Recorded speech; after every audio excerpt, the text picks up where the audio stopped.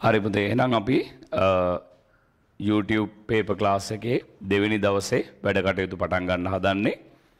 අ, එතකොට අද පේපර් එකේ තියෙනවා බහුවර්ණ ප්‍රශ්නාංක 26 සිට අ, 50 දක්වා තියෙනවා. එතකොට මේකෙදි ටිකක් වැඩිපුර බයෝ ප්‍රශ්න තමයි දාලා තියෙන්නේ. අ, එතකොට අපි කතා කරගත්ත විදිහට හැම පේපර් එකකම බහුවර්ණ 25 ගානේ අපි පේපර්ස් 40ක් කතා කරන වැඩසටහනක ඉන්නේ.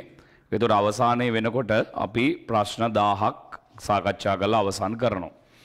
හරි එහෙනම් අපි පටන් ගමු 26 වෙනි ප්‍රශ්නයේ සිට කතාව පටන් ගමු. ඔයාට පේනවා ප්‍රශ්නය ප්‍රාථමික වනාන්තරයක ලක්ෂණයක් නොවන්නේ කුමක්ද? හරි. දැන් මතක් කරන්න බලන්න ප්‍රාථමික වනාන්තර. දැන් ඔයාලා දන්නවා වනාන්තර ප්‍රධාන වර්ග දෙකකට බෙදෙනවනේ. නේද? වනාන්තර බෙදෙන ප්‍රධාන වර්ග දෙක තමයි ප්‍රාථමික වනාන්තර සහ මොන වනාන්තරද? ද්විතීක වනාන්තරනේ. ප්‍රාථමික වනාන්තර සහ ද්විතීක වනාන්තර. මොනවද පුතේ මේ ප්‍රාථමික වනාන්තරවල තියෙන ලක්ෂණ? හ්ම්? ප්‍රාථමික වනාන්තරවල තියෙන ලක්ෂණ මොනවද? අපි ගත්තොත් එහෙම පළවෙනි කාරණාව තමයි පුතේ ප්‍රාථමික වනාන්තරයක තියෙන ලක්ෂණ අ, ප්‍රාථමික වනාන්තරවල තියෙන ලක්ෂණ ගත්තොත් එහෙම ප්‍රාථමික වනාන්තරවල තියෙන ලක්ෂණ ගත්තොත් මේවට පුතේ මේ මිනිසාගේ හෝ හරි මිනිසාගේ හෝ ස්වභාවික බලපෑම් වලට ලක් වෙලා නැහැ. මිනිසාගේ හෝ ස්වභාවික බලපෑම් වලට ලක් වෙලා නැහැ. බලපෑම් වලට ලක් වෙලා නැහැ ප්‍රාථමික වනාන්තර කියන ඒවා. ඒ වගේම තමා පුතේ ප්‍රාථමික වනාන්තරයක දෙවෙනි ලක්ෂණය තමයි මේවා පුළුල් ප්‍රදේශයක පැතිරලා තියෙනවා. හරි පුළුල් ප්‍රදේශයක පැතිරලා තියෙනවා. හරි ඒ වගේම තමා ප්‍රාථමික වනාන්තරයක තව ලක්ෂණයක් තමයි මේ වගේ ඉහළ ජෛව විවිධත්වයක් තියෙනවා. ඉහළ ජෛව විවිධත්වයක් තියෙනවා. ඒ වගේම තමා ප්‍රාථමික වනාන්තරවල ආවේනික ජීව විශේෂ බහුලයි. ආවේනික ජීව විශේෂ බහුලව ඉන්නවා. ඒ වගේම ප්‍රාථමික වනාන්තරයක තව ලක්ෂණයක් තමයි මේ වගේ පුතේ ස්ථායිතාවයේ වැඩි. ස්ථායිතාවය වැඩි. ඒ වගේම තමා ප්‍රාථමික වනාන්තරයක තවත් ලක්ෂණයක් මේ ප්‍රාථමික වනාන්තර කියන ඒවා එලිවීමකට ලක් වෙලා නැහැ. එලිවීමකට ලක් වෙලා නැහැ. ඒකත් ප්‍රාථමික වනාන්තරයක ලක්ෂණය. ඒ වගේම තමා ප්‍රාථමික වනාන්තරයක තව ලක්ෂණයක් විවිධ වයස් කාණ්ඩවලට අයත් ශාක තියෙනවා. මම හත්වෙනි එක මේ හරියට ලියන්න. විවිධ වයස් කාණ්ඩවලට අයත් විවිධ වයස් කාණ්ඩවලට අයත් ශාක දකින්න පුළුවන්. හරි? විවිධ වයස් කාණ්ඩවලට අයත් ශාක දකින්න පුළුවන්. එතකොට මේක තමයි මේ ප්‍රාථමික වනාන්තරයක තියෙන ලක්ෂණය. හරි? ප්‍රාථමික වනාන්තරවල තියෙන ලක්ෂණ. එහෙනම් දැන් මම ප්‍රාථමික වනාන්තරයක තියෙන ලක්ෂණ හතක් කීවා ඔයාට. මොනවද හත? මිනිසාගේ හෝ ස්වභාවික බලපෑම් වලට ලක් වෙලා නැහැ. පුළුල් ප්‍රදේශයක පැතිරලා තියෙනවා. ඉහළ ජෛව විවිධත්වයක් තියෙනවා. ඒ වගේම ආවේනික ජීව විශේෂ බහුලයි. ඒ වගේම ස්ථායිතාවය වැඩි කියලා කීවා. නේද? ඊට පස්සේ අපි ගත්තොත් විවිධ වයස් කාණ්ඩවලට අයත් ශාක දකින්න පුළුවන්. හරි. දැන් මේ උත්තරත් එක්ක අපි බලමු. මේ උත්තරත් එක්ක අපි බැලුවොත් එහෙම පළවෙනි කාරණාව තමයි පුළුල් ප්‍රදේශයක පැතිර තිබීම. එතකොට ඒක ප්‍රාථමික වනාන්තරයක ලක්ෂණයක් නේ. ඊළඟට ඉහළ ජෛව විවිධත්වයක් පැවතීම. ඒකත් ප්‍රාථමික වනාන්තරයක ලක්ෂණයක්. ස්ථායිතාවයේ වැඩිවීම ඒකත් ප්‍රාථමික වනාන්තරයක ලක්ෂණයක්. විවිධ වයස් කාණ්ඩවලට අයත් ශාක පැවතීම ප්‍රාථමික වනාන්තරයක ලක්ෂණයක්. මෙන්න මෙතන තියෙනවා එලිවීමකට ලක් වී තිබීම. එලිවීමකට ලක් වෙලා නැහැ ප්‍රාථමික වනාන්තර කියන ඒවා. එහෙනම් උත්තරේ මෙන්න මේක. උත්තරේ අංක 4. හරි? ලියාගන්න පොඩි නෝට් එකක් ප්‍රාථමික වනාන්තරවල ලක්ෂණ කියලා. ප්‍රශ්නාංක 26 කියලා දාලා ප්‍රාථමික වනාන්තරවල ලක්ෂණ කියලා නෝට් එකක් දාන්න. හරි මං ඉක්මනින් කියනවා ලියන්න. එක මිනිසාගේ හෝ ස්වභාවික බලපෑම් වලට ලක් වී නැත. මිනිසාගේ හෝ ස්වභාවික බලපෑම් වලට ලක් වී නැත. දෙක පුළුල් ප්‍රදේශයක පැතිරී ඇත. පුළුල් ප්‍රදේශයක පැතිරී ඇත. පුළුල් ප්‍රදේශයක පැතිරී ඇත. තුන ජෛව විවිධත්වය ඉහළය. ජෛව විවිධත්වය ඉහළය. හතර ආවේනික ජීව විශේෂ බහුලය. ආවේනික ජීව විශේෂ බහුලය නැත්තම් වැඩිය. ඊළඟ එක ස්ථායිතාවේ වැඩිය. ස්ථායිතාවේ වැඩිය. ඊළඟ එක එලිවීමකට ලක් වී නොමැත. එලිවීමකට ලක් වී නොමැත. එලිවීමකට ලක් වී නොමැත. ඊළඟ එක විවිධ වයස් කාණ්ඩවලට අයත් ශාක දැකගත හැකිය. විවිධ වයස් කාණ්ඩවලට අයත් ශාක දැකගත හැකිය. විවිධ වයස් කාණ්ඩවලට අයත් ශාක දැකගත හැකිය. ඔන්න එහෙනම් අපි ඔයත් එක දැන් කතා කරා ප්‍රාථමික වනාන්තරවල ලක්ෂණ. මේක හොඳට මතක තියාගන්න මොකද මේක MCQ එකක් හැටියට එන්නත් පුළුවන් එහෙම නැත්නම් ස්ට්‍රක්චර් පේපර් එකේදී ව්‍යුහගත පේපර් එකේ තියෙන්නත් පුළුවන්. හරි අපි යමු එතකොට ඊළඟ ප්‍රශ්නය සාකච්ඡා කරන්න ප්‍රශ්නාංක 27. ප්‍රශ්නාංක 27. ශ්‍රී ලංකාවේ පිහිටි නිවර්තන තෙත් සදාහරිත වනාන්තරයක් වන්නේ. දැන් මට කියන්න ලංකාවේ තියෙන ප්‍රධාන වනාන්තර වර්ග මොනවද?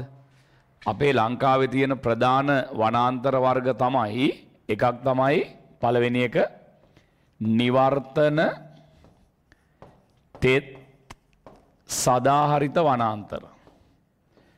නිවර්තන තෙත් සදාහරිත වනාන්තර. ඔන්න පළවෙනි වර්ගේ. නිවර්තන තෙත් සදාහරිත වනාන්තර.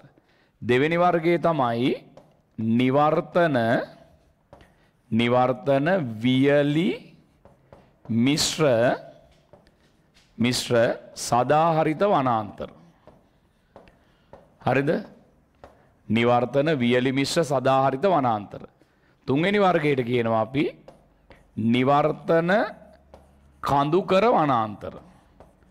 නිවර්තන මොන වනාන්තරද කඳුකර වනාන්තර. ඒ වගේම හතරවෙනි එකට අපි කියනවා තනබිම් තනබිම් කියන්නේ ඔය වියලි පතන සහ තෙත් පතන කියලා කියන්නේ. ඊට පස්සේ පස්වෙනි එක තමයි කටු පඳුරු සහිත කටු පඳුරු සහිත ලඳු කැලෑ.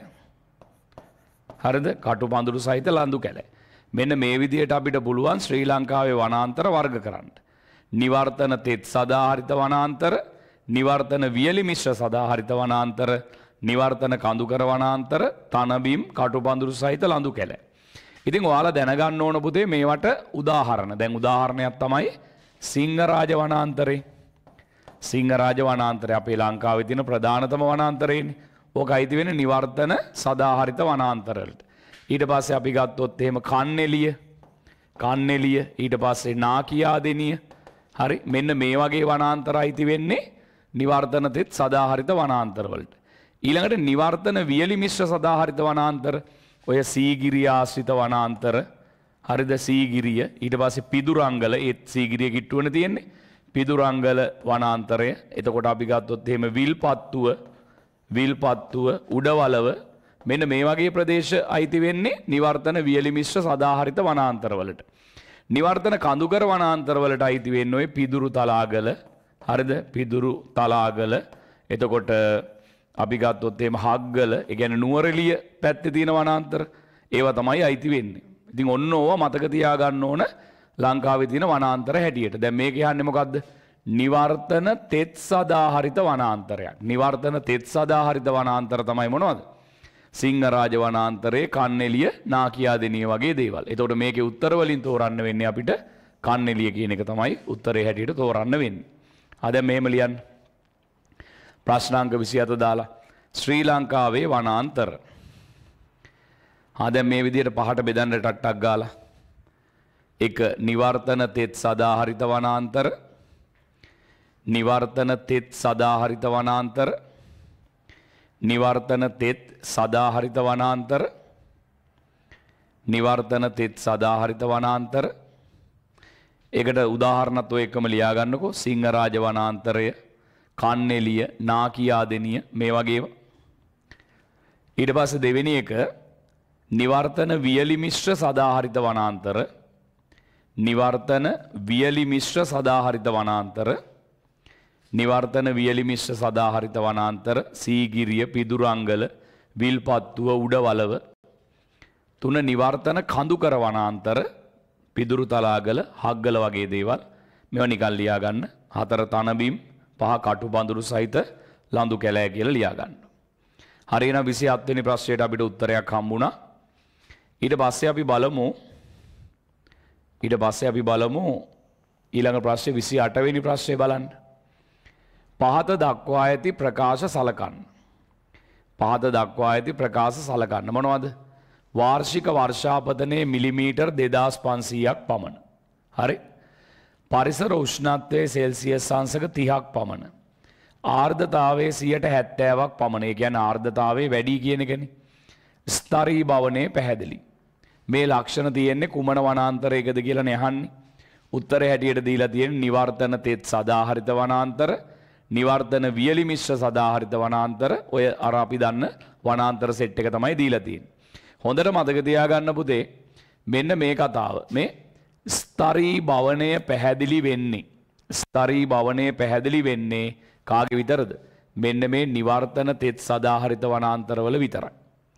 මේ හැමෝගෙම ස්තරී භවනය අනිත් හැමෝගෙම ස්තරී භවනය අපැහැදිලි. ඒ නිසා මේකේ උත්තරේ හැටියට අපිට කෙලින්ම තේරිය හැකි නිවර්තන තෙත් සදාහරිත වනාන්තර. හරිද?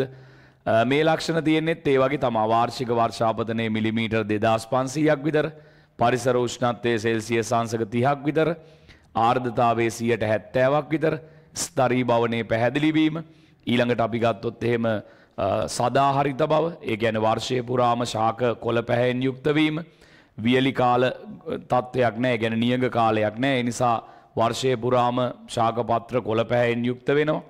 ඊළඟට පස සාපේක්ෂව નિසරුයි. මෙන්න මේ වගේ ලක්ෂණ අපි කතා කරනවා නිවර්තන තෙත් සදාහරිත වනාන්තර යටතේ. ඕන්න නිකන් ලියාගන්න පොඩි නෝට් එකක්. නිවර්තන තෙත් සදාහරිත වනාන්තරවල ලක්ෂණ කියලා ලියන්න.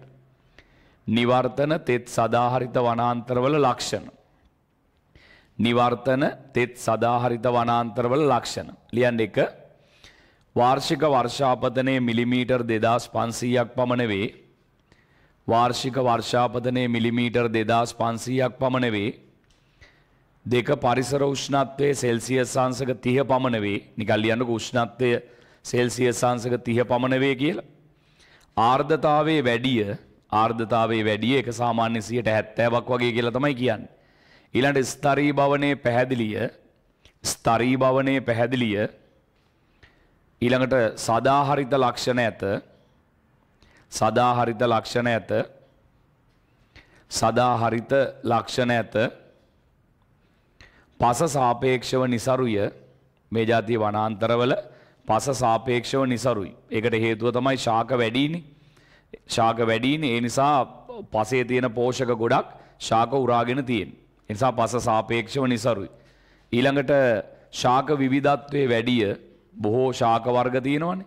ශාක විවිධත්වයේ වැඩිය ඊළඟට ආරෝහක හා අපිශාක බහුලය ආරෝහක ශාක කියන්නේ ඔය ගස්වල එතෙමින් වගේ යන්නේවා.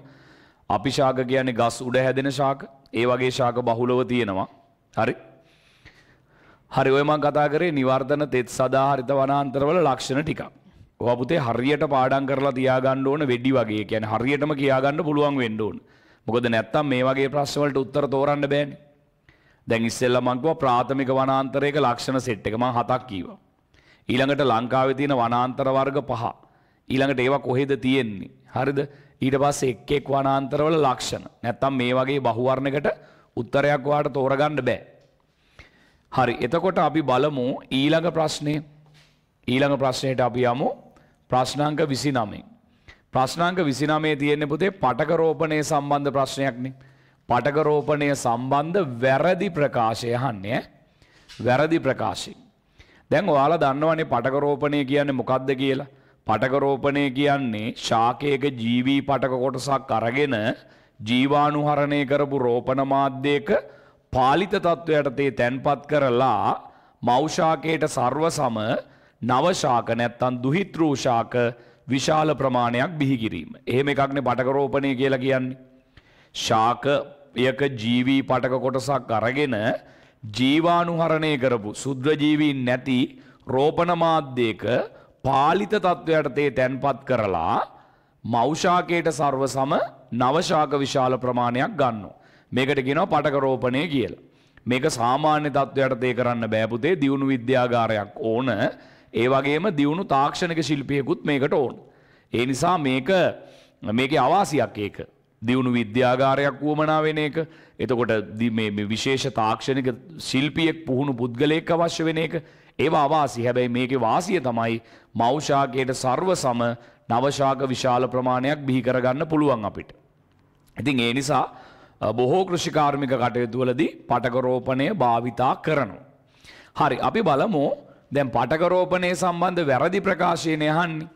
මෙමගින් මෞෂාකයට සර්ව සම දුහිතෘෂාක ලැබේ. ඒක හරි. ඒ කියන්නේ පටකරෝපණයෙන් බිහිවෙන පැලපුතේ ඔක්කොම මෞෂාකයට සර්ව සමයි. එතකොට ඒක හරි ප්‍රකාශයක්. පටකරෝපණයේදී සිදුවන්නේ අනූනන විභාජනයයි. දැන් අපි පුංචි පටක කෑල්ලක්නේ රෝපණ මාධ්‍යයේ තැන්පත් කරන්නේ. මේ වගේ රෝපණ මාධ්‍යයක අපි පොඩි පටක කෑල්ලක් තැන්පත් කරන්නේ. මේ පටක කෑල්ලට අපි කියනවනේ පූර්වකය කියලා. මේක පෝෂ්‍ය පදාර්ථ උරාගෙන ටික දවසක් යනකොට හොඳින් වර්ධනය වෙනවා. මොන පාටටද කොළ පාටට වැඩෙනවා. කොළ පාටට වැඩුණහම අපි ඒකට නමක් කියනවා පුතේ කිනකේ කියලානේ. කොළ පාටට වැඩුණහම අපි ඒකට කියන්නේ කිනකේ කියලා. කිනකේ කියලා කියන්නේ. කොළ පාටට වැඩුණාම අපි ඒකට කියනවා කිනකේ කියලා. එතකොට දැන් අපි තිබ්බේ මොකද්ද? පුංචි පටක කෑල්ලක්නේ මෙතන තිබ්බේ. පුංචි පටක කෑල්ලක් තිබ්බේ ඒක විශාලවට වර්ධනය වුණා. ඒ කියන්නේ මේ පටකේ සෛල බෙදි බෙදී බෙදි බෙදී ලොකු වුණා කියන එකනේ. එතකොට පුතේ සෛල බෙදෙන ක්‍රම දෙකයිනේ ඔයාලා දන්නේ. පුංචි පන්ති වල උගන්වලා තියෙනවා. අනූනන විභාජනයයි ඌනන විභාජනයයි. ඔයාලා අහලා තියෙනවා ඌනන විභාජනය වෙන්නේ ප්‍රජනක සෛල හැදෙනකොට විතරයි. දැන් සත්තුන්ගේ නම් ශුක්‍රාණු ඩිම්බ. හරිද? හැබැයි දැන් මෙතන ප්‍රජනක සෛල හැදෙන කතාවක් නෑනේ පුතේ. ඒ නිසා මෙතන සිද්ධ වෙන්නේ අනූනන විභාජනයේ තමයි. නිසා මතක තියාගන්න පටක රෝපණයේදී මේ සෛල විභාජනය වෙන්නේ අනූනන විභාජනයෙන්. ඒක ඇත්ත. ඊළඟට පුතේ සියලුම ශාක බෝ කිරීමට පටක රෝපණය භාවිතා කළ හැකිය. ලෝකේ තියෙන හැම ගහක්ම පටක රෝපණයෙන් බිහි කරන්න බෑ. ලෝකෙ තියෙන හැම ගහක්ම පටක රෝපණයෙන් බිහි කරන්න බෑ. මෙතන තියෙනවා පුතේ වචනයක් සියලුම කියලා. ලෝකෙ තියෙන හැම ගහක්ම පටක රෝපණයෙන් බිහි කරන්න බෑ. එතකොට මේ ප්‍රකාශය වැරදි. හරිද?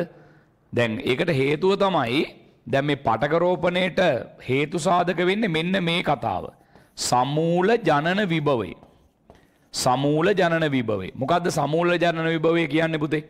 සමහර ශාක සෛලවලට සමහර ශාක සෛලවලට අත්‍යවශ්‍ය පෝෂක ටික දුන්නාම මේ සෛලයට පුතේ පුළුවන්කමක් ලැබෙනවා තනියම ශාකයක් බවට තනියම ගහක් බවට වර්ධනය වීමේ හැකියාවක් තියෙනවා. හැබැයි ඒක තියෙන්නේ සමහර ශාක සෛලවලට විතරයි. එතකොට මේ හැකියාවට කියන්නේ සමූල ජනන විභවය. ඇතැම් ශාක සෛලවලට අත්‍යවශ්‍ය පෝෂක දුන්නාම එයාට පුළුවන් තනිව ශාකයක් බවට වැඩෙන්න. එතකොට සෛලයකින් ශා- එක සෛලයකින් ශාකයක් හැදෙනවා. දැන් පටකේ සෛල 100ක් තිබ්බොත් පටකේ සෛල 100ක් තිබ්බොත් අ, ශාක 100ක් ලබා ගන්න පුළුවන්. මේකට තමයි සමූල ජනන විභවය කියලා කියන්නේ. හැබැයි මේ හැකියාව හැම ශාක සෛලයකටම නැහැ. ඒ නිසා සමහර ශාක පටක රෝපණයෙන් බිහි කරගන්න බෑ. එහෙනම් සියලුම ශාක බෝ කිරීමට පටක රෝපණේ භාවිතා කළ හැකි කියන ප්‍රකාශය වැරදි. එහෙනම් ඒක තමයි උත්තරේ. අනික බලන්න මේ කතාව මෙහිදී කුඩා පටක කැබැල්ලකින් විශාල පැල සංඛ්‍යාවක් ලබා ගත හැකි හරි. ඔව් පුංචි පටක කෑල්ලකින් විශාල පැල සංඛ්‍යාවක් ගන්න පුළුවන්. ඒකත් හරි. පටක රෝපණය මගින් රෝගවලින් තොර පැල ලබා ගත හැකි ඔව් ඒකත් හරි. හේතුව පටක රෝපණය කරන්නේ ජීවාණුහරණය කළ රෝපණ මාධ්‍යයක. ඒ කියන්නේ ඒ වගේ තැනක සුද්‍ර ජීවින් නැහැනේ. તો සුද්‍ර ජීවින්ගෙන් බෝවන රෝග නැහැ. ඊළඟට පුතේ පටක රෝපණයේදී හැම පෝෂකයක්ම දෙන හින්දා ගස්වල පෝෂණ ඌනතා නැහැ. එහෙම රෝග ලක්ෂණ පෙන්වන්නේ නැහැ මේ ලක්ෂණ. ශාක. ඒ නිසා පටක රෝපණයෙන් අපි ගන්නෙ රෝග වලින් තොර පැල තමයි. එහෙනම් ඒකත් හරිනේ. එහෙනම් දැන් කතාව මොකද්ද? වැරදි ප්‍රකාශය තමයි මේ තියෙන්නේ. හරි. නිකමට මෙන්න මෙහෙම ලියන්න. මෙහෙම ලියන්න. රෝපණ මාධ්‍යයේ තැන්පත් කරන පටක කොටස රෝපණ මාධ්‍යයේ තැන්පත් කරන පටක කොටස අනූනන විභාජනයට ලක් වී රෝපණ මාධ්‍යයේ තැන්පත් කරන පටක කොටස අනූනන විභාජනයට ලක් වී සෛල ප්‍රමාණය වැඩි කර ගනිමින් සෛල ප්‍රමාණය වැඩි කර ගනිමින් කිනකේ සාදයි. සෛල ප්‍රමාණය වැඩි කර ගනිමින් කිනකේ සාදයි. සෛල ප්‍රමාණය වැඩි කර ගනිමින් කිනකේ සාදයි. එනම් පටකරෝපණයේදී වෙන්නේ අනුන්න විභාජනය. තව තරුවක් දාලා ලියන්න මේ කතාව ඇතැම් ශාක සෛලවලට ඇතැම් ශාක සෛලවලට අත්‍යවශ්‍ය පෝෂක ලබා දුන් විට ඇතැම් ශාක සෛලවලට අත්‍යවශ්‍ය පෝෂක ලබා දුන් විට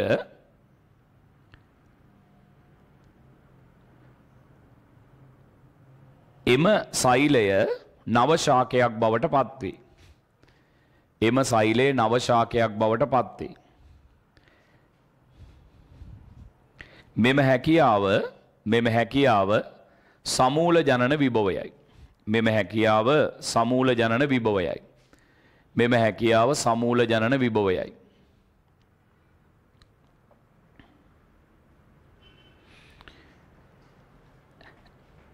ඇතැම් ශාක සෛලවලට එම හැකියාව නැත. ඇතැම් ශාක සෛලවලට එම හැකියාව නැත. ඇතැම් ශාක සෛලවලට එම හැකියාව නැත. එබැවින් එම ශාක පටකරෝපණයට යොදාගත නොහැකිය. එම ශාක පටකරෝපණයට යොදාගත නොහැකිය. හරි එන අපිට උත්තරයක් හම්බුණා පුතේ ඒ කතාව හරි. අපි යනවා ඊළඟ ප්‍රශ්නයට. ඊළඟ ප්‍රශ්නයට යනවා. මේ බලන්න. බලන්න මොකද්ද කතාව කියලා. පටකරෝපණ මාධ්‍යයට යොදන ඔක්සීන් නැමති ශාකවර්ධක ද්‍රව්‍ය මගින් බලාපොරොත්තු වන්නේ කුමක්ද? දැන් අපි පටකරෝපණ මාධ්‍යයක් හදාගන්නවන්නේ මේ මාධ්‍යයට අපි විවිධ ද්‍රව්‍ය එකතු කරනවා. දැන් අපි ගහක් හැදෙන්න උවමනා හැම දෙයක්ම එකතු කරගන්න බෑ මේකට. මේකට ජලය එකතු කරනවා. මේකට විටමින් වර්ග එකතු කරනවා. ඒ වගේම මේකට විවිධ සීනි වර්ග එකතු කරනවා. මේ වගේ පුතේ මේකට අපි විවිධ දේවල් එකතු කරනවා. එතකොට මේකට එකතු කරනවා අපි ශාක වර්ධක ද්‍රව්‍ය. ශාක වර්ධක ද්‍රව්‍ය. එතකොට ඒකෙදී ඔයාලට උගන්වන්න තියෙනවා ප්‍රධාන ශාක වර්ධක ද්‍රව්‍ය වර්ග දෙකක්. ඒ තමයි පුතේ පළවෙනි එක ඔක්සීන් ඔක්සීන් කියන ශාක වර්ධක ද්‍රව්‍ය දෙවෙනි එක තමයි සයිටොකයිනීන් කියන ශාකවර්ධක ද්‍රව්‍ය සයිටෝ කයිනීන් කියන ශාකවර්ධක ද්‍රව්‍ය. ඔක්සීන් දාන්න පුතේ මුල් ඇදීම වේගවත් කරන්න. ඔක්සීන් දාන්න මොකොටද මුල් ඇදීම වේගවත් කරන්න. හරිද සයිටොකයිනීන් දාන්නේ සෛල විභාජනය සහ සෛල විභාජනය සහ විබේධනය වේගවත් කරන්න. විබේධනය වේගවත් කරන්න. ඒකට තමයි අපි මොනවදාන්නේද. ඔ මේ සයිටොකයිනීන් දාන්න. පැදලිද එනම් පටකරෝපන මාධ්‍යයට අපි දානවා ශාකවර්ධක ද්‍රව්‍ය විදියට ඔක්සීන් මුල් ඇදීම වේගවත් කරන්න සයිටොකයිනීන් දානවා සෛල විභාජනය සහ සෛල විභේදනය වේගවත් කරන්න. සෛල විභාජනය කියන්නේ සෛල බෙදෙන එක සෛල විභේදනය කියන්නේ ඒ සෛල යම් කාර්යයකට හැඩගැහෙනවා කියන එක. හරි එනම් මොකක්ද උත්තරේ. ඔක්සීන් නැමති ශාකවර්ධක ද්‍රව්‍ය දාන්නේ මුල් ඇදීම වේගවත් කරන්න උත්තරේ හතර. හරි මේම ලියන්නකෝ. ප්‍රශ්නාංක දාලා ලියන්න 30. ඔක්සීන් මගින් මුල් ඇදීම වේගවත් කරයි. ඔක්සීන් මගින් මුල් ඇදීම වේගවත් කරයි. ඔක්සීන් මගින් මුල් ඇදීම වේගවත් කරයි. ඉතින් ඕවා තමයි හොඳටම දැනගන්න ඕන පුතේ. ඕවා හරියට දැනගන්න. හරි. ඔයා ඕවා ඉගෙනගෙන නැත්තම් වැඩක් නැහැ. හරිද? ඔයා ඉගෙනගෙන නැත්තම් ඔයා අනිවාර්යෙන් භාගෙට ඉගෙනගෙන තියෙන්නේ. හරි. එහෙනම් ඔක්සීන් මගින් මුල් ඇදීම වේගවත් කරනවා. හරි අපි බලමු ඊළඟ ප්‍රශ්නේ. ඊළඟ ප්‍රශ්නේ බලන්න පටකරෝපණ මාධ්‍යයේ සෛල විභාජනය හා විභේදනයේ සෛල සෛල විභාජනය සහ විභේදනය වේගවත් කරන්න. රෝපණ මාධ්‍යයට එක් කරන්නේ මොනවද? මේ දැන් කතා කරේ මොනවද? මේ තියෙන උත්තරේ සයිටෝ කයිනින්. සෛල විභාජනය සහ විභේදනය වේගවත් කරන්න එකතු කරන්නේ සයිටොකයිනීන් ලියන්න ප්‍රශ්නාංකෙ දාලා සයිටොකයිනීන් මගින් ප්‍රශ්නාංකෙ දාලා ලියන්න සයිටොකයිනීන් මගින් සෛල විභාජනය හා විභේදනය වේගවත් කරයි. සෛල විභාජනය හා විභේදනය වේගවත් කරයි. හරි. දැන් මොකක්ද ඊළඟ කතාව? පටකරෝපන මාධ්‍යයේ තැන්පත් කරනු ලබන ජීවී පටක කොටස හඳුන්වන්නේ. දැන් පටකරෝපන මාධ්‍යය පුතේ අපි තැන්පත් කරන්නේ ජීවී පටක කොටසක්නේ. අන්න ඒකට අපි කියන්නේ පූර්වකය කියලා. පූර්වකය පූර්වකය කියලා කියන්නේ. එහෙනම් මේක තමයි උත්තරේ පූර්වකය. පටකරෝපන මාධ්‍යය තැන්පත් කරන පටක කොටසට අපි කියන්නේ පූර්වකය කියලා. එතකොට පූර්වකයේ හැටියට අපිට පුළුවන් ගහේ කෙලවර කඳේ කෙලවරින් කොටසක් ගන්න ප්‍රරෝහාග්‍රයෙන් කොටසක් ගන්න පුළුවන්. ලපටි පත්‍රවලින් කොටසක් ගන්න පුළුවන්. මුලේ කෙලවර මූලාග්‍රයෙන් කොටසක් ගන්න පුළුවන්. කලල කොටසක් ගන්න පුළුවන්. සමහරලාට අපිට අපිට පරාග වගේ කොටස් ගන්නත් පුළුවන්. පරාග ගත්තොත් අපිට බිහි කරගන්න පුළුවන් ඒක ගුණ ශාක. ඒ කියන්නේ වර්ණ දේහ තනි තනිවම තියෙනේවා. හරි. ලියන්නකෝ මෙහෙම. පටක රෝපණය සඳහා යොදා ගන්නා පටක කොටස පටක රෝපණය සඳහා යොදා ගන්නා පටක කොටස పూర్වකයයි. පටක රෝපණය සඳහා යොදාගන්නා පටක කොටස පූර්වකයයි. පටක රෝපණය සඳහා යොදාගන්නා පටක කොටස පූර්වකයයි. ලියන්නක උදාහරණ කියලා මොනවද යොදාගන්න කියලා කඳේ කෙලවර අපි කියන්නේ ප්‍රරෝහ අග්‍ර කොටස්. ප්‍රරෝහ අග්‍ර කොටස්. ලියන්න ප්‍රරෝහ අග්‍ර කොටස් ඊට පස්සේ ලපටි පත්‍ර කොටස් සාමාන්‍යයෙන් ගහක පුතේ වේගයෙන් වර්ධනය වෙන තැන් තමයි අල්ල ගන්න ඕනේ. ඒතකොට ලේසි. මූලාග්‍ර කොටස් මූලාග්‍ර කොටස් ගන්න පුළුවන්. ප්‍රරෝහාග්‍ර කොටස්, ලපටි පත්‍ර කොටස්, ඊළඟ මූලාග්‍ර කොටස්, ඊට පස්සේ කලල කොටස්, කලල කොටස්, ඊට පස්සේ ඔය පරාග වගේ දේවල් ඒවත් ගන්න පුළුවන්. ගහක ජීවී ඕනම පටක කොටසක් ගන්න පුළුවන් ඉතින්. හරි අපි බලමු ඊළඟ එක. හරි අපි බලමු ප්‍රශ්නාංක 33. හරි මේක අපි කරානේ 33. බලන්න පහත ලක්ෂණ සහිත ශාක පටකයේ කුමක්ද? පහත ලක්ෂණ සහිත ශාක පටකයේ කුමක්ද කියලා අහන්නේ. සෛල බිත්තිය කොන් ආශ්‍රිතව මහතින් වැඩි. දැන් මට නම් ඒ ඒ ඒ වාක්‍ය කියනකොට මේ මොන පටකයේද කියලා මට නම් කියන්න පුළුවන්. මං හිතන්නේ ඔයාටත් කියන්න පුළුවන්. දැන් ඔයාලා දන්නවනේ පුතේ මේ පටක අඳුරගන්න අපි පාවිච්චි කරන විශේෂ ලක්ෂණ. මෘදුස්තර පටකේ අඳුරගන්නේ කොහොමද? අන්තර් සෛලීය අවකාශ බහුල වීමෙන්. ස්තුල කෝණාස්තර පටකේ අඳුරගන්නේ කොහොමද? සෛල බිත්තිය කොන් ආශ්‍රිතව මහතින් වැඩි වීමෙන්. දුඩස්තර පටකේ අඳුරගන්නේ කොහොමද? දුඩස්තර පටකේ ඝනකම් සෛල බිත්තියක් තියෙනවා, මැද චූටි කුහරයක් තියෙනවා, අන්තර් සෛලීය අවකාශ නැහැ. ශෛලමයි ප්ලෝයමයි අඳුරගන්නේ සෛල වර්ග කීපයක් තියෙනවා. එතකොට ශෛලම වෙන්නත් පුළුවන් ප්ලෝයම වෙන්නත් පුළුවන්. කොහොමද ප්ලෝයම අඳුරගන්නේ? ප්ලෝයම සෛලවල තියෙනවා අර සිදුරු සහිත හරස් බිත්ති පෙනේර තලේ. ඒ වගේම පෙනේර නල සෛලයක න්‍යෂ්ටිය මධ්‍ය රික්තකේ නැහැ. යාබදව තියෙනවා න්‍යෂ්ටිය මධ්‍ය රික්තකේ තියෙන සහචර සෛල. ඉතින් එතකොට ප්ලෝයම් පටකේ අඳුර ගන්න පුළුවන්. එතකොට ඒක ප්ලෝයම් පටකේ නෙවෙයි නම් ඒක ශෛලම් පටකේ කියලා අඳුර ගන්නත් පුළුවන්. හරිද? ඒතර ඒවා හරියට අඳුරගන්න පුළුවන් වෙන්න ඕන. හරි. එතකොට පහත ලක්ෂණ සහිත ශාක පටකයේ කුමක්ද කියලා නහන්නේ. සෛල බිත්තිය කොන් ආශ්‍රිතව මහතින් වැඩි. දැන් සාමාන්‍යයෙන් අපි ගත්තොත් පුතේ සෛල බිත්තිය සෛල බිත්තිය කොන් ආශ්‍රිතව මහතින් වැඩි. සෛල බිත්තිය කොන් ආශ්‍රිතව මහතින් වැඩි. ස්තුල කෝණාස්තර සෛලවල ස්තුල කෝණාස්තර සෛලවල මේ වගේ හරහට අපි කපලා බැලුවොත් එහෙම හරස්කඩ බහුවස්ත්‍රාකාරයි මේ සෛල බිත්තිය පුතේ මේ කොන් තියෙනවනේ. මේ කොන් ආශ්‍රිතව මහතින් වැඩි. මෙන්න මේ ටිකේ සෙලියුලෝස් තැන්පත් වීමක් තියෙනවා. මේ ටිකේ සෙලියුලෝස් තැන්පත් වීමක් තියෙනවා.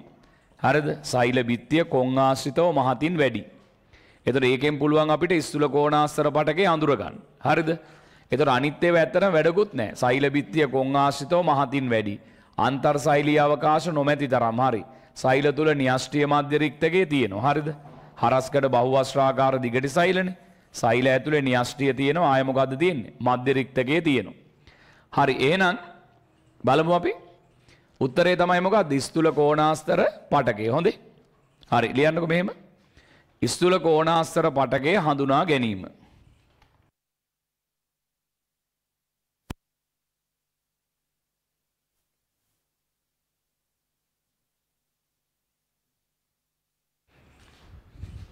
ස්තුල කෝණාස්තර පටකය හඳුනා ගැනීම. හරි.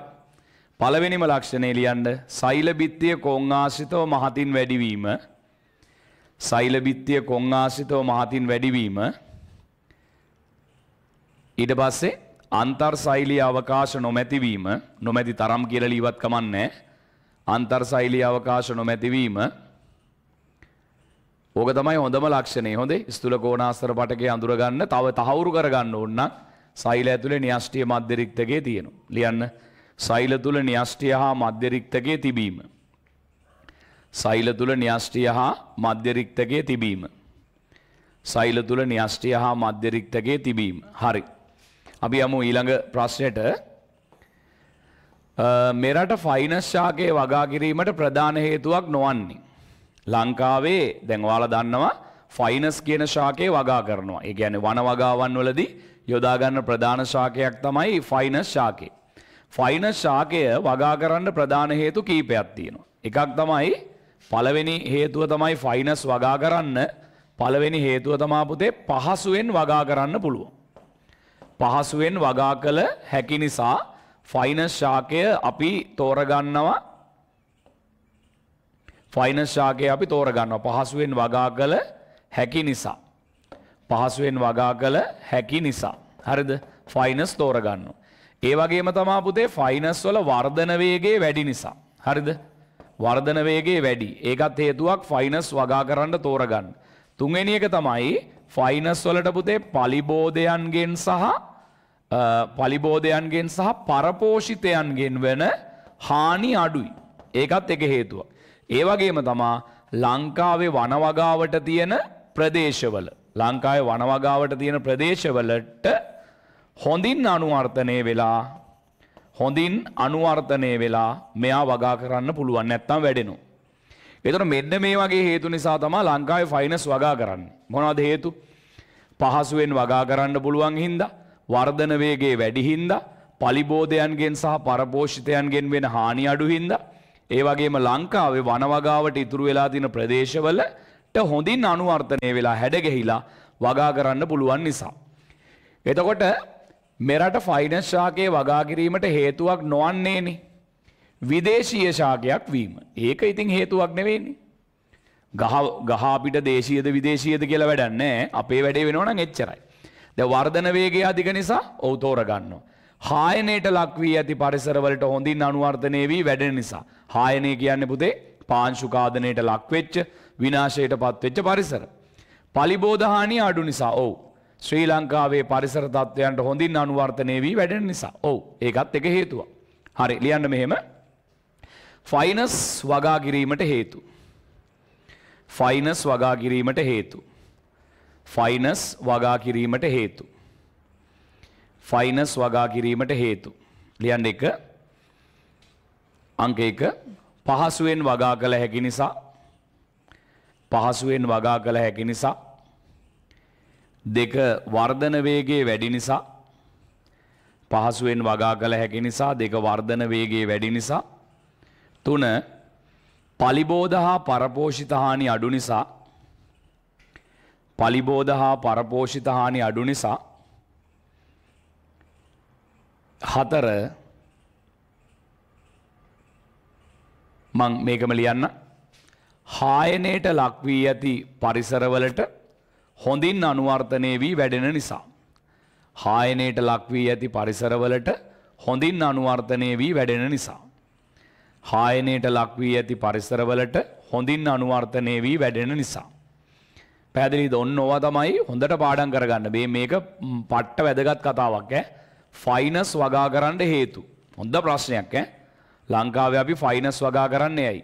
පහසුවෙන් වගා කරන්න පුළුවන් හින්දා වර්ධන වේගයේ වැඩි හින්දා පලිබෝධ සහ පරපෝෂිත හානි අඩු නිසා ඒ වගේම හායනයට ලක් වෙච්ච ප්‍රදේශවලට හොඳින් අනුවර්තනය වෙලා වැඩෙන නිසා. හොඳට මතක තියාගන්න. මතක තියාගන්න මේවා ඔයා ඉගෙනගෙන නැත්තම් ඇත්තරම් පුතේ ඔයා ඉගෙනගෙන නෑ මේ සිලබස් එක. හරිද?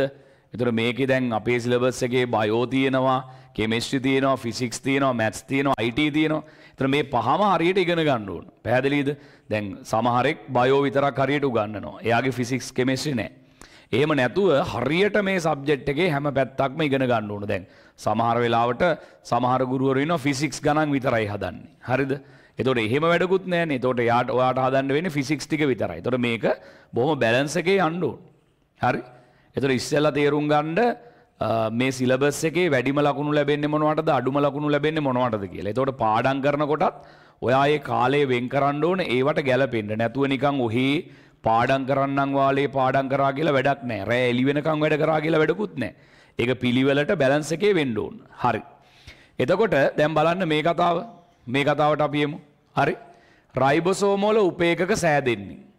දැන් ඔයාලා දන්නවා පුතේ රයිබෝසෝමයක් කියන්නේ පටලයක් නැති ඉන්ද්‍රියකාවක්නේ. මේ රයිබෝසෝමය හැදිලා තියෙන්නේ විශාල සහ කුඩා උපේකක දෙකකින්. මේ තියෙන රයිබෝසෝම වල මොන ඒකකද? උපේකක. මේ උපේකක හැදෙන්නේ පුතේ කොහෙද? සෛලයක තියෙනවනේ න්‍යෂ්ටිය කියලා එකක්. මේ න්‍යෂ්ටිය තියෙනවා න්‍යෂ්ටිකාව කියලා එකක් මතක ඇති ඔයාලට නේ. න්‍යෂ්ටිකාව කියලා එකක් තියෙනවනේ. මෙන්න මේ න්‍යෂ්ටිකාවේ තමයි පුතේ මෙන්න මේ න්‍යෂ්ටිකාවේ තමයි රයිබෝසෝම වල උපේකක හැදෙන්නේ. ඇත්තටම මේ පොඩි උපේකකයයි ලොකු උපේකකයයි වෙන වෙනම හැදෙන්නේ. ඒවා මේ එළියට ඇවිල්ලා තමයි සෛලප්ලාස්මේදී මේවා එකට සම්බන්ධ වෙන්නේ. එහෙනම් ලියන්න රයිබෝසෝම වල උපේකක සෑදෙන්නේ න්‍යෂ්ටිකාව තුලය. රයිබෝසෝම වල උපේකක සෑදෙන්නේ න්‍යෂ්ටිකාව තුලය. රයිබෝසෝම වල උපේකක සෑදෙන්නේ න්‍යෂ්ටිකාව තුලය. න්‍යෂ්ටිකාව තුලය. හරි. මේක නම් චූටි ප්‍රශ් ගැටලුකාරී තත්වයක් තියෙනවා. මේ මෙතන ඔයා මේ මෙතක හදාගන්න මයිටොකොන්ඩ්‍රියා කියලා. මයිටොකොන්ඩ්‍රියා කියලා හදාගන්න එතන පොඩි වෙනසක් කරගන්න වෙනවා. රයිබෝසෝම කියන එක කපලා. හරි පාත සෛලීය ඉන්ද්‍රයක හඳුනා ගන්න කියලානේ තියෙන්නේ. සෛලයක තියෙන පුතේ කොටස් අඳුර ගන්න පුළුවන් වෙන්න ඕන. දැන් ඔයාට පේනවද මෙයාගේ පටල දෙකක් තියෙනවනේ. මෙන්න මේ වගේ කොටසුත් තියෙනවනේ. මේ වගේ එකට කියන්නේ පුතේ හරිත ලවයක් කියලා. ඒවා දැකලා පුරුදු වෙන්න ඕන. මේ වගේ එකට මොකද්ද අපි කියන්නේ? මේ වගේ එකට අපි කියන්නේ ගොල්ගි සංකීර්ණයක් කියලා. හරිද? මේ වගේ එකට අපි කියන්නේ මයිටොකොන්ඩ්‍රියාවක් කියලා. එහෙනම් මේකේ උත්තරේ පුතේ අංක 4. හරිතලව ගොල්ගි සංකීර්ණය මේක මයිටොකොන්ඩ්‍රියා. උත්තරේ අංක 4. බලන්න ප්‍රශ්නාංක 37. ප්‍රශ්නාංක 37. ශාක සෛල බිත්තිය පිළිබඳ සාවද්‍ය ප්‍රකාශය. සාවද්‍ය කියන්නේ පුතේ වැරදි. සෛල බිත්තිය ගැන. ශාක සෛල බිත්තිය. දැන් මේ ශාක සෛලයක් නම් හරිද? මේකනේ ශාක සෛල බිත්තිය කියලා කියන්නේ. හරි? මේක තමයි සෛල බිත්තිය. ඔව් පළවෙනි කතාව සෛල බිත්තිය කියන එක අජීවී තමයි. ඇත්ත. සෛල බිත්තිය අජීවී. දෙවෙනි කාරණාව මේ සෛල බිත්තිය තියෙන ප්‍රධානම සංඝටකය තමයි මොකද්ද? සෙලියුලෝස්නේ. ඒකත් ඇත්ත. තුන්වෙනි එක පුතේ මොකද්ද? අර්ධ පාරගම්ම්‍ය වේ. සෛල බිත්තිය කියන එක පුතේ මොකද්ද? සෛල බිත්තිය හරහා ඕනම දෙයකට යන්න එන්න පුළුවන්. ඒ නිසා සෛල බිත්තිය කියන්නේ පූර්ණ පාරගම්ම්‍ය කෙනෙක්. අර්ධ පාරගම්ම්‍ය කියලා කිව්වොත් ඒක වැරදි. අර්ධ පාරගම්ම්‍ය කිව්වොත් ඒක වැරදි. ශාක සෛලයට ආරක්ෂාවක් ලබා දෙන ඔව් පිටින් බිත්තියක් තියෙනකොට ඇතුළට ආරක්ෂාවක් එන්න එපා.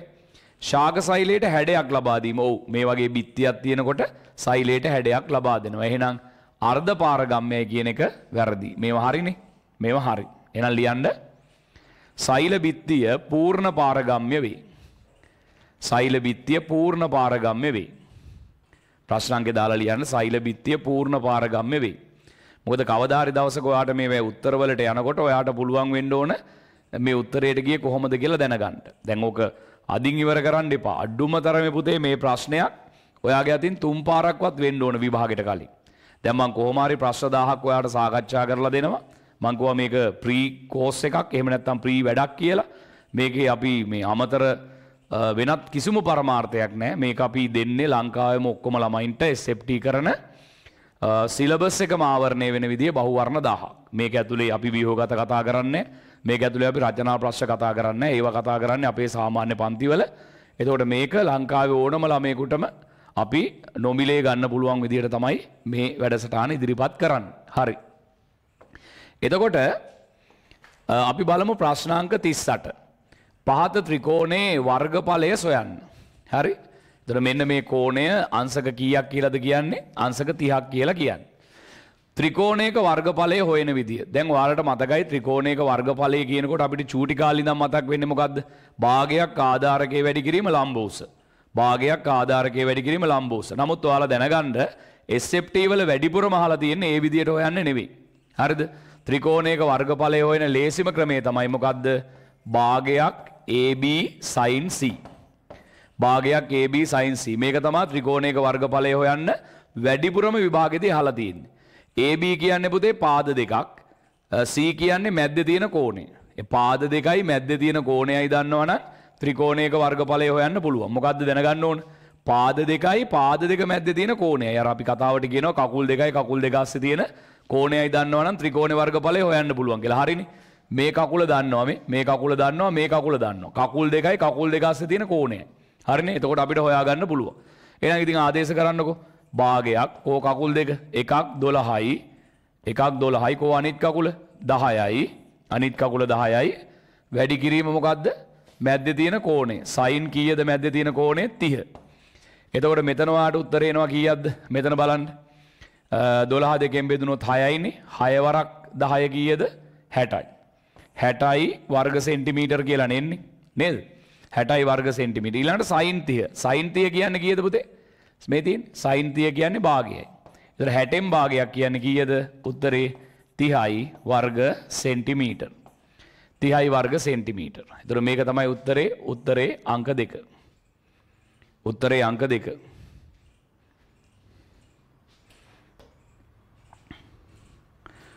හරි දැන් මේ වීඩියෝ සෙට් එක බැලුවට පස්සේ අනිවාර්යෙන් ඕක යටින් කමෙන්ට් එකක් දාහල්ලා දැන් මොකද්ද මේක හොඳද නරකද පැහැදිලිද? මොකද්ද කියන අදහස? දැන් මේක නිකන් බලලම පැත්තකට වෙන්නේ නැතුව මේක ගැන පොඩි කමෙන්ට් එකක් තියන්න. මේක හොඳද නරකද මොකද්ද මේකේ කතන්දරේ ඔයාට දැනෙන විදිහ මේක වෙනස් වීමක් වෙන්න ඕනද?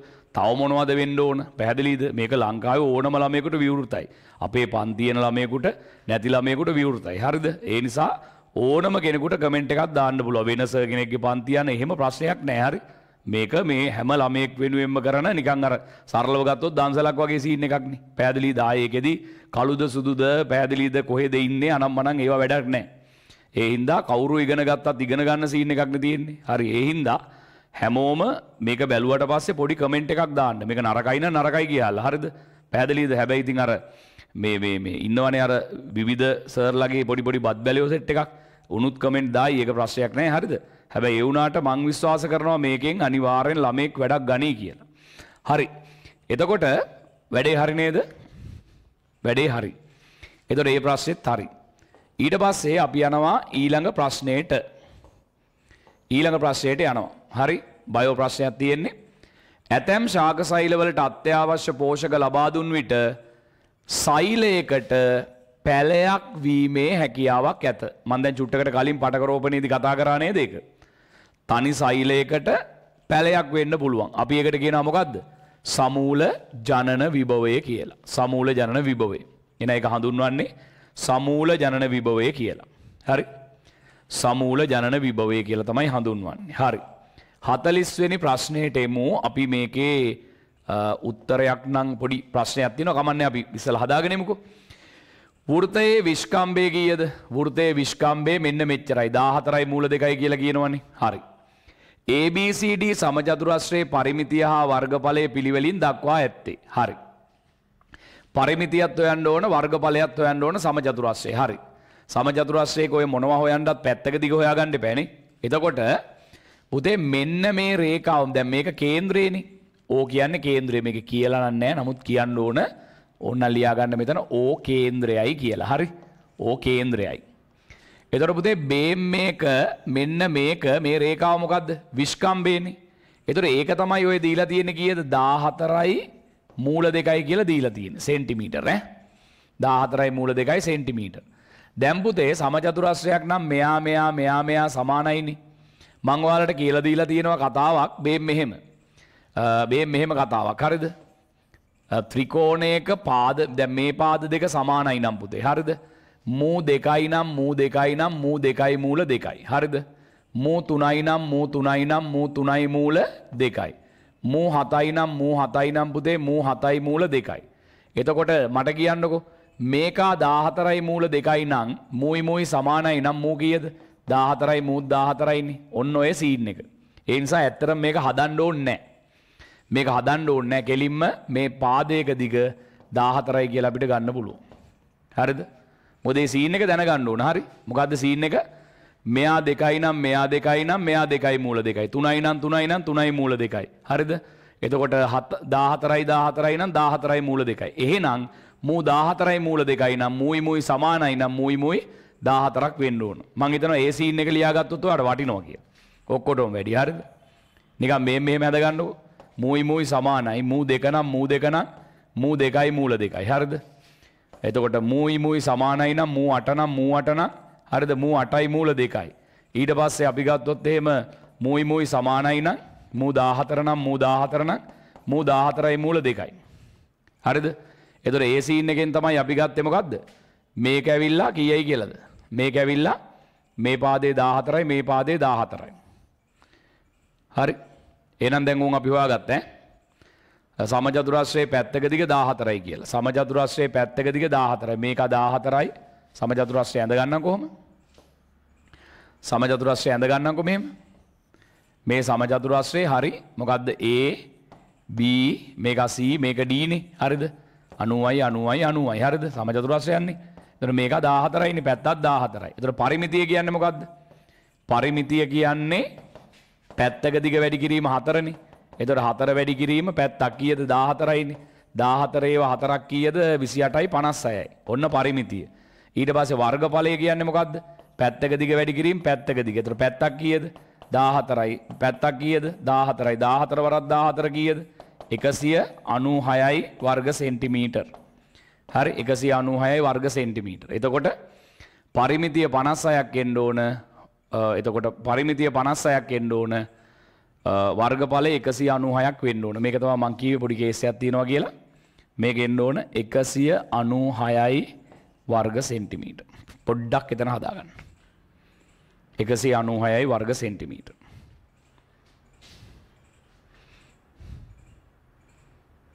හරි නේද?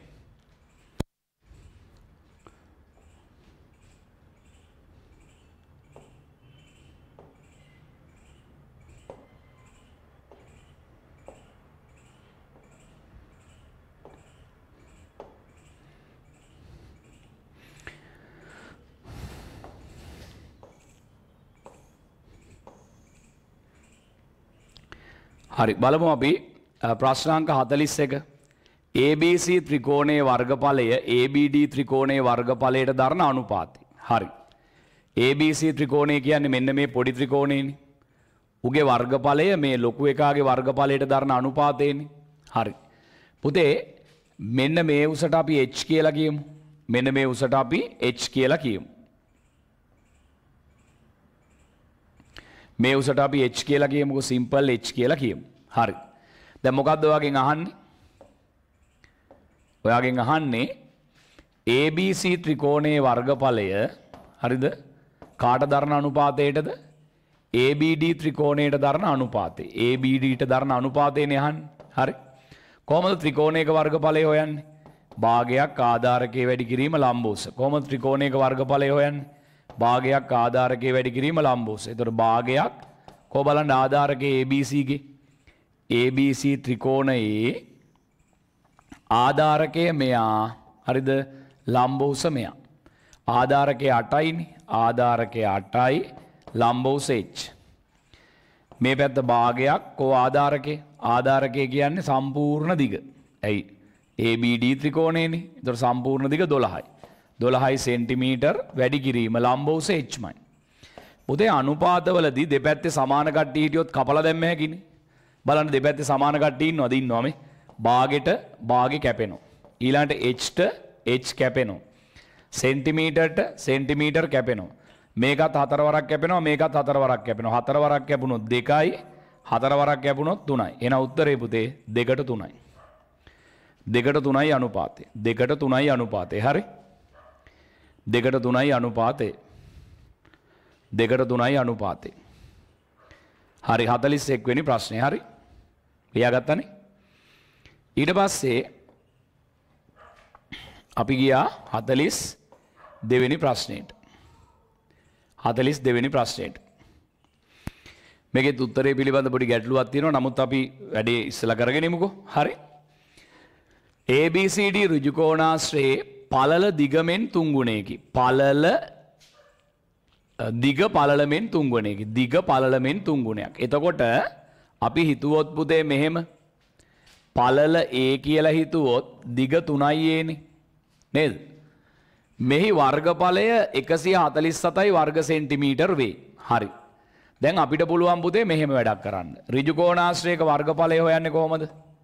දිග වැඩි කිරීම පලල හරි. වර්ගඵලය දීලා තියෙනවන කියද. එකසිය හතලිස් සතයි වර්ග සෙන්ටිමීට. ඒ කියන්නේ දිගන දිග කියද තුනයි ඒ. පලල කීයද ඒ. එතකොට එකසිය හතලිස් සතයි වර්ග සෙන්ටිමීටර් සමානයි තුනයි ඒ වරක්කේ ඒ වර්ගේ.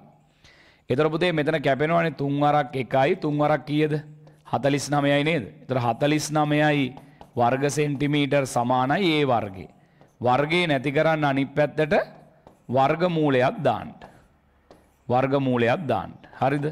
එතර හතලිස් නමේ වර්ගමූලේ හතයිනි වර්ග සෙන්ටිමීටරොල වර්ගමූලය සෙන්ටිමීටර් හතයි. ඒ නම් පුතේ මේ පැත්තක දිග ගීයද සෙන්ටිමීටර් හතයි. එතකොට මේ අර්ධවෘත කේස එකක් තියෙනවනේ මේක අරය කියන්නේ එකෙන් භාගයක්නේ අරය කියන්නේ එකෙන් භාගයක්. විතර අරය සමාන වෙනවා තුනයි දසම පහකට සෙන්ටිමීට. හරිනි? දැන් අපිට කියනවා මොකක්ද මේ අර්ධවෘත දෙක කපල අයින් කරනවලු. බේ මේක කපල අයින් කරනවලු. මේකත් කපල අයින් කරනවා කියලන කියන්න. ඉතිරි කොටසේ පරිමිතිය. පරිමිතිය ගැන වටේ දිගන. එතොට වටේ දිගට මොනවද අයිති වෙන්නේ? වටේ දිගට අයිති වෙනවා. මේ කෑල්ල අයිති වෙනවා. මේ කෑල්ල අයිති වෙනවා. හරිද? මේ කෑල්ලක් කීයද? ඒ හතයිනං තුනයියේ කියන්නේ විසි එකයිනේ දර මෙත් කියද? විසි එකයින සෙන්ටිමීටර් එතරපුතේ ආය බේ මේටික අයිති වෙනවා. මේටිකයි මේටික කියන්න මොකක්ද වෘතයක පරිදියෙන් භාගයක්.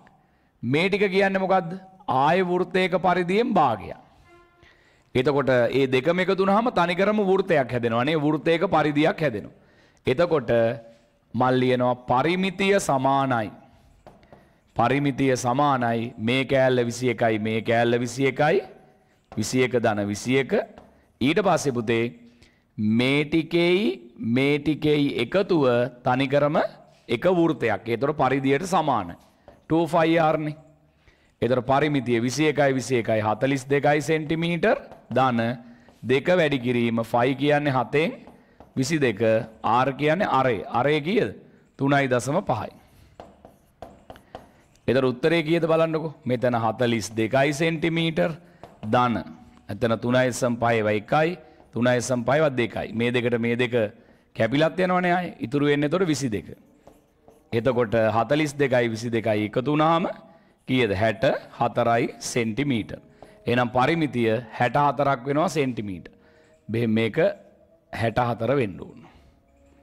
හැට හතරයි සෙන්ටිමීටර්. හැට හතරයි සෙන්ටිමීටර් හැට හතරයි සෙන්ටිමීටර් වෙන්ඩුවන්. හරි ඔන්න ඒකත් හරි.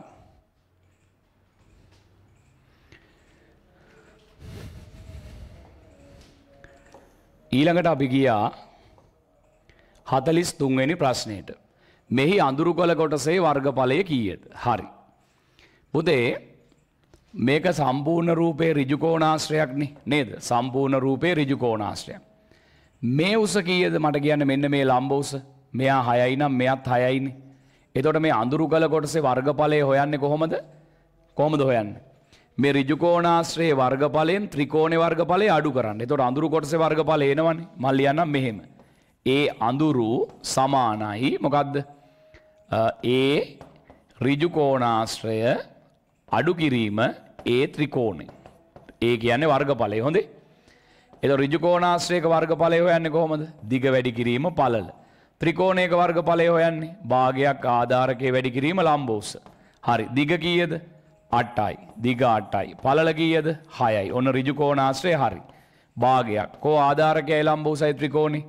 ආධාරකය අටයි. ලම්බවස කියද? ලම්බවස හයයි. මෙතන කියද උත්තරේ? හයවරක්කට හතලිස් අටයි. වර්ග සෙන්ටිමීට රීන මෙතන හතලිස් අට දෙකෙන් බෙදුන හම විසි අතරයි වර්ග සෙන්ටිමීට එතුර අන්තිම උත්තරේ නොපුතේ කියද හතලිස් අටෙන් විසි අතරක් අඩු කරපුවාම විසි අතරයි වර්ග සෙන්ටිමීට එන උත්තරේ අංක තුන. උත්තරේ අංක තුන. උත්තරේ අංක තුන.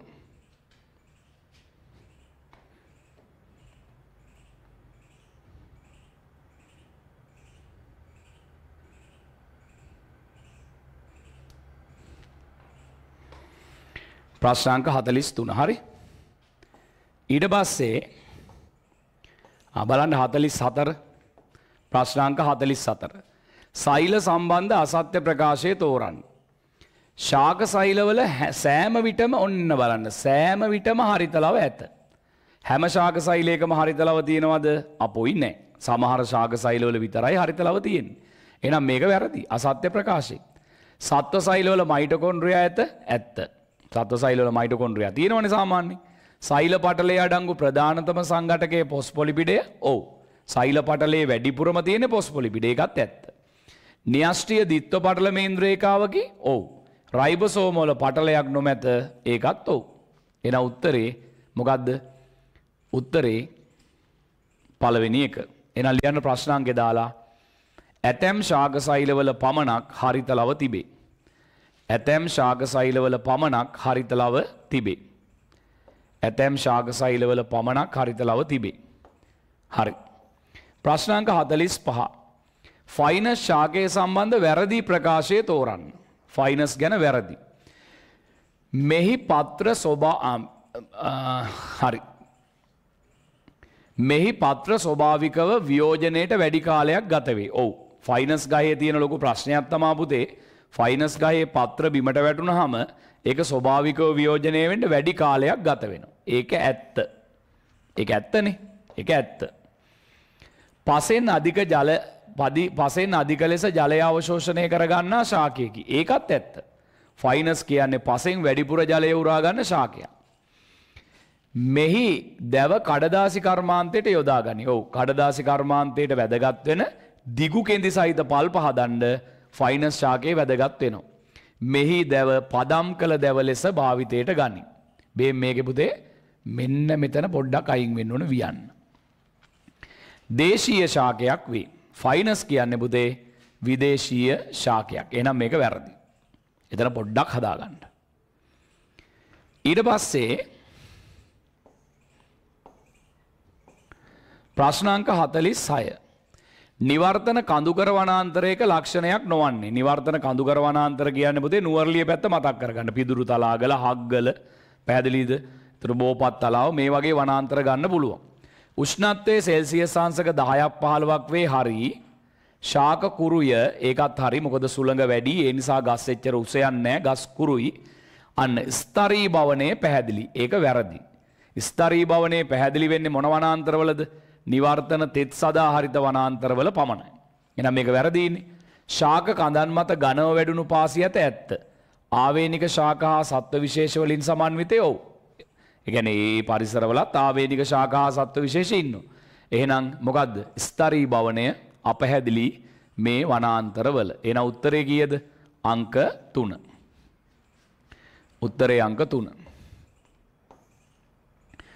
අපිට කියනවා ශාක කඳේ හා මුලේ බාහිකේ හා මජ්ජාවේ පිහිටන ශාක පටක වන්නේ. පුතේ බාහිකේ මජ්ජාවේ තියෙන්නේ මොන පටකේද මෘදුස්තර පටකේ. මෘදුස්තර පටකේ තියෙනවා කොහෙද ශාක පත්‍රවල තියෙනවා. ඉනි මෘදුස්තරේ සවිවර මෘදුස්තරේ. කඳේ මුලේ බාහිකේ මජ්ජාවේ තියෙනවා. නේද? ඊට පස්සේ අපි ගත්තොත් එහෙම තා මොනවද තියෙන්නේ? බීජ කලලය ඇතුලේ තියෙනවා. පළවල මාංශල කොටස් වල තියෙනවා. ඒ වගේ ගොඩක් තැන්වල මෘදුස්තර පටකේ තියෙනවා. එහෙනම් මෘදුස්තර පටකේ තියෙන තැනක් තමයි කඳේ හා මුලේ බාහිකේයි මජ්ජාවේ. ඊට පස්සේ ඊළඟ ප්‍රශ්නේ. ප්‍රශ්නාංක 48. වනාන්තර පිළිබඳව දක්වා ඇති සත්‍ය ප්‍රකාශය. වනාන්තර ගැන සත්‍ය ප්‍රකාශය. වනාන්තර භෞමික පරිසර පද්ධතියක් වේ. ඔව්. වනාන්තරයක් කියන්නේ ගොඩබිම පරිසර පද්ධතියක්. භෞමික කියන්නේ ගොඩබිමනේ. ඒක ඇත්ත. ශාක ඇති ඕනම ප්‍රදේශයක් වනාන්තරයක් ලෙස සැලකිය හැකි. එහෙමනම් ඉතින් ඔයාලා ගෙදර ගේ පිටිපස්සෙත් වනාන්තරයක් කියලා කියන්න පුළුවන්. ගස් තිබ්බ පළියට වනාන්තරයක් වෙන්නේ නැහැ. ඒතර ඒක වැරදි. ද්විතීක වනාන්තරවලට වඩා ප්‍රාථමික වනාන්තර අස්ථායි. අස්ථායි කියන්නේ පුතේ ඒක පවතින්නේ නැහැ කියන එකනේ. ස්ථායිතාවය අඩුයි කියන එක. ඒතර ඒක වැරදි නේද? මොකද ද්විතීක වනාන්තරවලට වඩා ප්‍රාථමික වනාන්තර අස්ථායි. කියන්නේ ප්‍රාථමික වනාන්තර වල ස්ථායිතාවය අඩුයිලු. ඒක වැරදිනේ. ප්‍රාථමික වනාන්තරවල අඩු ජෛව විවිධත්වයක් ඇත. නෑනේ ප්‍රාථමික වනාන්තරවල තමයි වැඩි ජෛව විවිධත්වයක් තියෙන්නේ. ඒතකොට ඒකත් වැරදි. සිංහරාජ වනාන්තරයේ ද්විතීක වනාන්තරයේ කී එකත් වැරදි. එයා ප්‍රාථමික වනාන්තරයක්. එහෙනම් උත්තරේ මොකක්ද වනාන්තර භෞමික පරිසර පද්ධති වේ කියන එක තමයි උත්තරේ වෙන්නේ. වනාන්තර භෞමික පරිසර පද්ධති වේ. ඊට පස්සේ ප්‍රශ්නාංක 49 ප්‍රශ්නාංක 49 විදේශීය ශාකයක් නොවන්නේ. කායා. කායා කියන්නේ අප්‍රිකානු ශාකයක්. ෆයිනස් තේක්ක මහෝගනී ඒවා පුතේ විදේශීය ශාක. මෙන්න මෙයා හොර කියලා කියන්නේ දේශීය ශාකයක්. හොර කියන්නේ දේශීය ශාකයක්. එන විදේශීය ශාකයක් නොවෙන්නේ මොකද්ද? හොර ශාකය. ඊට පස්සේ බලමු අපි